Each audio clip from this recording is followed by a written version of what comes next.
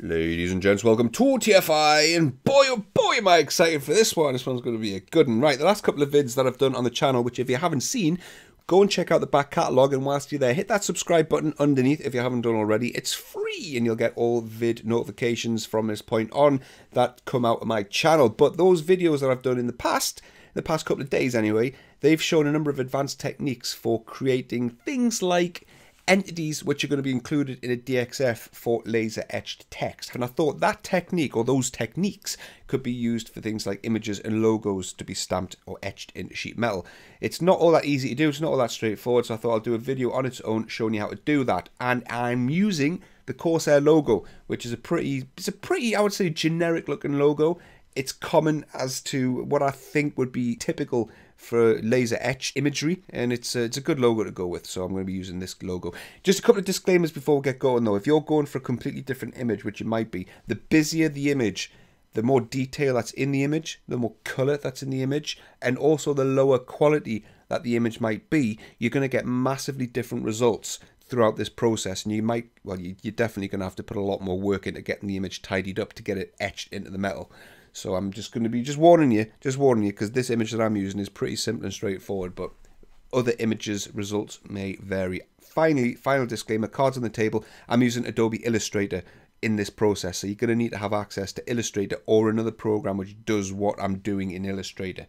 I'm not aware of any of the programs that do what I'm doing, and my skills in Illustrator extend only as far as what I'm doing. I've never used Illustrator before today, so I don't know of any other programs that do what I do in here. Someone in the comments might let you know though. But if you need to do this for work, your company shouldn't have a problem with just subscribing to Illustrator. It's not that expensive if you need to do this for work. Right, let's get cracking. So in Google Images, all I did was Google Corsair logo PNG. The first hit that came up is a nice quality Corsair logo with a transparent background. Right click on that image and then go save image as and then drop that on the desktop and that'll save it out as a PNG file. The next thing I'm going to do is hop over to Illustrator. I might be doing this the complete wrong way, but I do know that this works. Someone in the comments might say, no, there's a better way of doing this for better results. By all means, just put that out there and then check the comments to see if someone has actually put that out there. Hit Start New, and I'm going to be creating a brand new generic poster template, which creates a white bit of paper, which uh, I'm going to stamp the logo in there. But before I do that, we're going to go File and Open and then select the Corsair logo that you've saved as from the internet and then hold the left mouse button down on the logo and then drag it into this brand new template. Let go of the mouse button and then it drops it into that poster template. The command that we use for this, I have no idea what it does. I have no idea, but all the tutorials that I've seen say use high fidelity photo, but I'm thinking that that might create a few too many entities that we than we need. So I'm going for silhouettes. So image trace and then silhouettes. Once it's done that, hit expand and you can see it's exploded the outline of the image and the text as vector entities. And I'm hoping that using silhouettes has made it a little bit more simplified than you would do otherwise if you used a high fidelity photo. Once that's done, go File, Export, and then Export As, and it's going to export it as an AutoCAD DWG, which is brilliant because Inventor imports DWG files natively, so we don't have to do any carry on and any jiggery pokery after we've exported from Illustrator. So we hit Export to the desktop, and then for the export options, I'm just accepting the defaults. I have no idea what any of these do, if I'm honest. Preserve appearance, true color PNG. I mean, the AutoCAD version is, I'm just using the latest one, and then hit OK. And that saves that out to a DWG on the desktop. Okay, over to Inventor. I'm stamping this image onto a flat bit of metal. It is just a simple 2 mil thick flat bit of metal, and I don't know what the dimensions are. It's just a square bit of metal. The size and the dimensions don't actually matter. The first step is to float a sketch off the top face of the metal. Doesn't matter how high as long as it's away from the face. I'm going to put 200 mil in there, but you can't sketch on the face. It has to be floated off the top of the face. Once you've activated that sketch and you're in the sketch environment, we're going to go to Insert a CAD file and we're going to go to the desktop and then select that logo which you've exported from Illustrator and then click open. And then this is where Inventor starts throwing a tantrum hissy fit. And it starts bombarding you with prompts. It starts being a right royal dickhole about it and throws them behind the bloody program window. Cheers for that Autodesk. And click OK. And then just click continue on the next prompt. And then it gives you the ACAD import window where it says right out of your AutoCAD file, which entities do you want to import? But for this one, we're going to select them all. And I'm going to tick AutoCAD blocks to Inventor blocks, and we're ticking constrain endpoints as well. the imported file units doesn't matter. Hit finish and that converts your illustrated output into an inventor block which looks pretty tasty. I'm liking the look of that. That's coming pretty good. It's coming pretty good. Over on the left hand side, in the browser, you've got a blocks folder now, and in the blocks folder, there's a bunch of hatch blocks which it's made. We're going to select all of those, multi multi with shift, and then right click and delete. Get rid of all of them. We don't want them. That leaves us with block two, which is the main bulk of this uh, Corsair logo. And because we've ticked make an inventor block, it's brought it in as one selectable entity, which we can just drag around rather than it being hundreds and thousands of different line entities. Double click block two and what we need to do is just double check that the logo is coming okay and there's no funky overlaps or squidgy edges because some logos that are of a low pixelated quality, when it did the trace, you could end up with some funky overlaps, which is just going to fail when you try to do the next step. So just have a quick scan around it, make sure that there's no overlaps, there's no holes in it or anything like that, but it's looking pretty solid actually. It's done a jolly good job of converting that into closed loop profiles. The the R's a bit funky, but it's fine to be honest. We're just we're just etching it into metal, so it doesn't need to be absolutely perfect. But that's looking good. Right, the next step is a bit of a ball ache. It's a bit fiddly, but it's got to be done. What we have to do is turn off these construction lines. These are the spline handles for the closed loop splines. So to do that, you've got to select the spline itself, right click, and then untick polygon visibility, and that turns off the spline line. You can do this by multi-selecting, pick the, the spline line, hold down shift, and then just go around picking all the other ones. Hold down shift, pick these, and unfortunately, as uh, time consuming and annoying as this is, I've got to do it for every other spline in the sketch. But it's not a big deal because once it's done, you just do it once and then it's done. So I'm not too fussed. It's worth investing the time. And uh, we're nearly there. We've got the R and then we've got the O. Note as well that some of these text entities have two profiles, uh, the outer island and the inner island. So we're going to have to pay attention to those later on. I've already done that one. Right, so then you right click and then untick polygon visibility. Uh, if you don't see polygon visibility on the right click menu, it'll be because you've accidentally selected one of the spline handles as you were clicking through all the, the other things. So you just have to go and do it again. Right, that's it done. The next thing I need to do, I'm just going to click finish block, but you can see the logo is way too big to fit on the metal. So we need to scale this down. Double click into the block, select scale, put a window around the logo, and then for the base point, select anywhere. And I'm going to scale this down to 0 0.1. See if that works. 0 0.1, finish the block, and we can move that onto the metal and yeah, that's a good size. That is a pretty good size. I'm happy with that. In terms of placement, right, let's just look at that work plane. In terms of placement, if I was doing this in production, I would create a bounding rectangle around the Corsair logo and then use the center point of the rectangle to centralize it on the metal. But I'm not fussed about that. As long as it looks central in this demo, that's all I really care about. So it's, it's looking good there. Right, next I'm going to turn off this work plane. Just right click on that and then turn the visibility of the work plane off. And then the next step is where we start to get into the advanced techniques. If, if what we haven't done already isn't advanced.